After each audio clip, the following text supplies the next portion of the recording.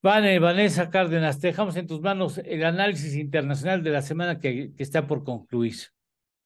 Pues sí, así es. Primero que nada, esta semana pues se celebró el Día de la Unión Europea, el día 9, y pues con muchos eh, altibajos, ¿no? Dentro de esta unidad. El primero pues es el Brexit, ¿no? Que se enfrenta ahora cuando la Unión Europea por primera vez eh, se funda, las reuniones eran para ver a quién incluían, ¿no? Y ahora resulta que es pues qué van a hacer con los que se salieron. ¿No? Eh, entre ellos, pues pues el Reino Unido, ¿no? Eh, entre las declaraciones que se da, porque además este año eh, también se conmemoran 30 años de fundado el máximo organismo de integración que tenemos hasta hoy en, en el mundo. Y bueno, pues el principal riesgo al que se enfrenta hoy la Unión Europea es el tema migratorio, el tema de Ucrania, de los hidrocarburos, y resulta una paradoja porque justamente se escoge el día 9 de mayo como Día de la Unión Europea, porque es el día en que se da el discurso para formar la comunidad económica del carbón y el acero con la finalidad de que no se volvieran a enfrentar eh, entre los países de Europa, ya que, bueno, estos materiales sirven para la producción de armas. Y hoy uno de los grandes problemas que no logran tener en la unidad, eh, pues es el tema de las energías. ¿No? Que el carbón en su momento era muy importante y hoy, bueno, pues la energía es una de las cosas en las que no se ha logrado cooperar en la Unión Europea. La ampliación, ¿no? El canciller alemán hablaba pues de, tener mayores eh, esfuerzos para incluir a Macedonia del Norte. Y en este sentido es importante porque nadie habló explícitamente ni nadie hizo hincapié en la inclusión de Ucrania, a pesar de que se le acaban de dar los papeles, casi que los formularios o su ficha para tratar de, entrar a la Unión Europea, lo cual pues agudizaría las tensiones con Rusia.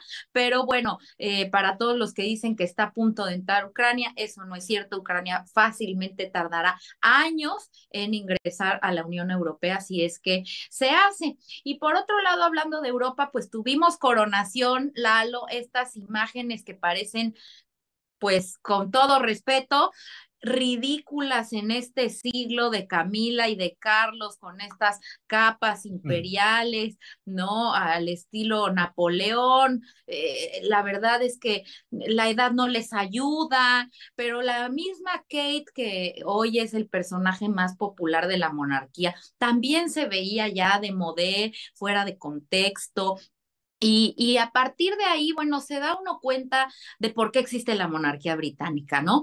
Es un gran negocio. Eso es lo que es al día de hoy. ¿Cuántos pudimos ver después de 70 años eh, la coronación, eh, todo el, despliegue económico que se da alrededor de esto, la venta de el llavero, la pluma, los programas de televisión, las revistas, ¿no? Eh, bueno, los mismos vestidos de, que usan de ahora que, que una de las críticas fue la suntuosidad y el gasto, una ridiculez también, hablaban de que se está eh, reutilizando las coronas, las capas, que no mandaron a hacer las propias. Eh, y bueno, pues al final esto es importante para el Reino Unido en un momento de inestabilidad, a ver si esta mancuerna entre Carlos III y Sunak ¿no? Un cambio importante tanto de jefe de gobierno como de jefe de Estado en una monarquía parlamentaria, eh, logran salvar la peor inflación que han tenido en los últimos 40 años los ingleses, por arriba del 10%, el empobrecimiento de la población ¿no? Eh, y la inestabilidad política que hoy se tiene, pues ya con esta coronación da ciertas certezas de hacia dónde va la cosa, ¿no? Va, va obviamente a seguir, eh, va a continuar Carlos III con la línea de su madre, ¿no? Eh, y a ver cuánto aguanta sin pasarle la corona a eh, el heredero Will y a Kate Winslet. Y oye, qué, qué Middletown, Middletown. ¿Eh? Este, como la, pues, y eso que aparentemente hicieron cambios, ¿verdad? supuestamente se ven modernizado y todo sí se ve fuera de contexto y este asunto. Claro, y, y, pues por la edad también no, no, no se ve nada bien.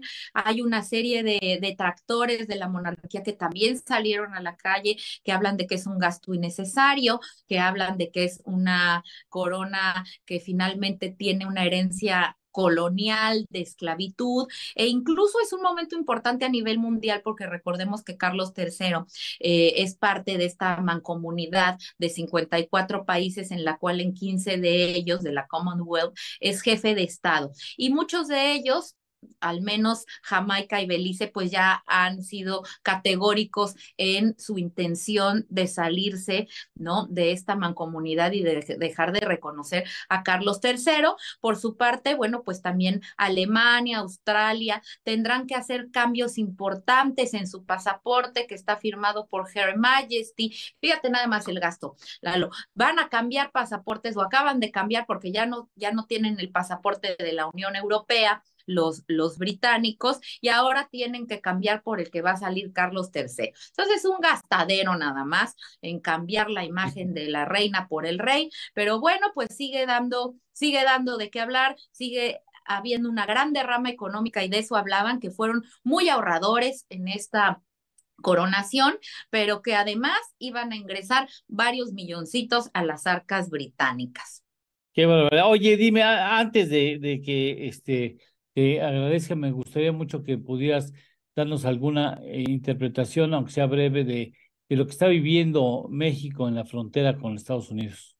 Pues el gran tema, el fin por fin del título 42, una política de salud que utilizaron como una política migratoria, ¿no? Eh, iniciada en el 20 por Donald Trump para regresar en caliente y para frenar los ingresos con motivos de salubridad. ¿no?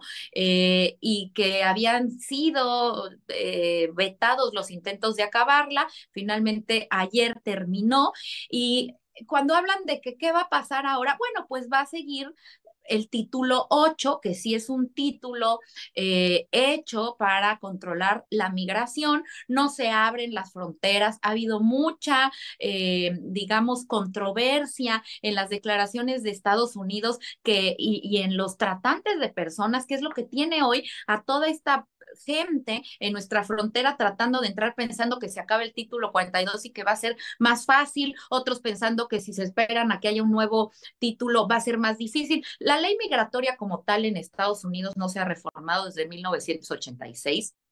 Eh, y ahora con el título 8 y las medidas tomadas anteriormente, bueno, pues hay que hacer la solicitud vía telefónica, eh, en internet más bien, eh, para poder ingresar y se tiene que tener un motivo para poder ingresar a los Estados Unidos y este motivo es lo que ha hecho también que haya pues muchísimas dudas porque cada uno cree que tiene una razón importante para poder ingresar. El tema aquí es que más allá de los dimes diretes de si, de si Biden y, y, y, Andrés Manuel se llevan bien, Estados Unidos nos debe un gran favor porque todos se nos están quedando. Lalo, hay cifras desde 150 mil hasta 2 millones en el mediano plazo que México se va a quedar repartidos en nuestras calles, en nuestras ciudades, y, y aún así hay estas y perdóname la palabra, imbecilidades como la de ayer de este senador ah, Kennedy, de decir que gracias a los Estados Unidos no estamos comiendo comida de gato y en carpas los mexicanos. Un senador poco importante, manipulable, ¿no? No es de los importantes, pero que debería de ser mucho más cuidadoso en sus dichos y por otro lado, pues también ya estamos viendo a los republicanos eh, con esta campaña agresiva hacia México, tomándonos como punching bag. Ron DeSantis, que es el principal competidor al interior del Partido Republicano a Donald Trump para las primarias en Florida, gobernador de Florida, pues ya criminalizó a la migración. Todo aquel que traslade a alguien en estatus irregular en su auto, va a ser encarcelado todos los que vayan en el coche. Es decir, que si tu hijo va y está en estatus irregular y van cuatro personas, la abuelita, el abuelito en el coche, todos a la cárcel. Igual todos aquellos que empleen a eh, personas en estatus irregular. Entonces, bueno, pues tenemos un conflicto importante con Estados Unidos en materia diplomática por las faltas de respeto y un conflicto real, preocupante en la infraestructura de nuestras ciudades para recibir a todos estos migrantes que nos están regresando, que se están quedando eh, y que van a seguir desplazándose por nuestro territorio sin las medidas necesarias y sin el personal capacitado para entender estos flujos migratorios. Bueno, pues qué barbaridad, qué manera, este, qué crisis de esa deberíamos dedicar un, una sesión especial, Vane, en otra ocasión. Por lo pronto te, te agradezco, como siempre, la gentileza de hacer análisis con nosotros del asunto internacional.